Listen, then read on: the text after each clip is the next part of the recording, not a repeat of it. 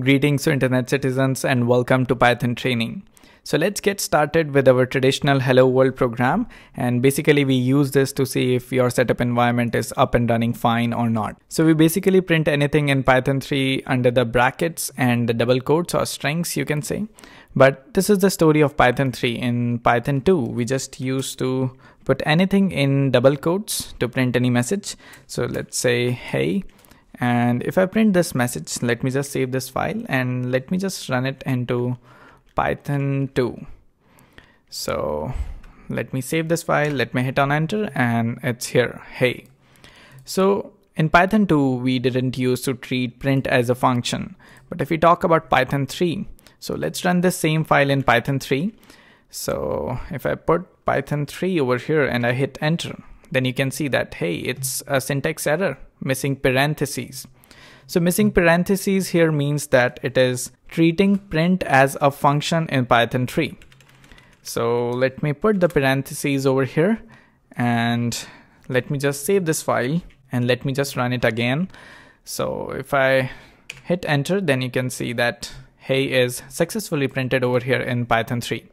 So this means that in Python 3, we are treating print as a function. But let's take it to the next level so if I write over here as define, and if we define, let's say greetings,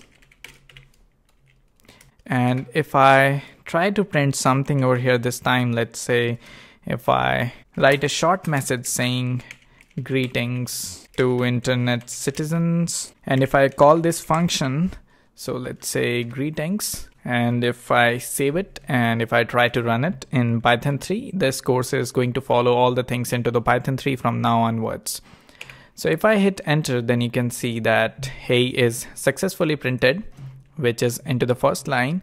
And then here is a greetings to internet citizens which is printed in under this function that we have just now defined.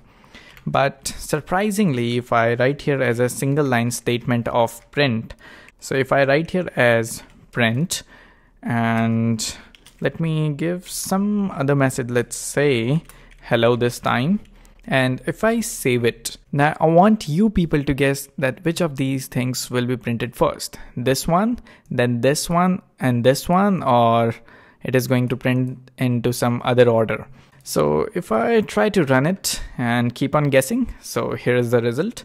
So if I try to run this file then you can see that first of all we have hey into the starting. And we don't have this greetings to internet citizens onto the second number. It is in the end. And then we have hello that we have just now printed as a single statement. The reason is we have the reason is we have defined this function of greetings and then we have printed something into this function but we are calling this function in the end which is the reason why it is printing greetings to internet citizens in the end. But anyways we are going to take a deep dive into the functions but into the next movie we are going to talk about the comments and the indentation which is really a very important part into the python. So that's it for this movie. See you into the next one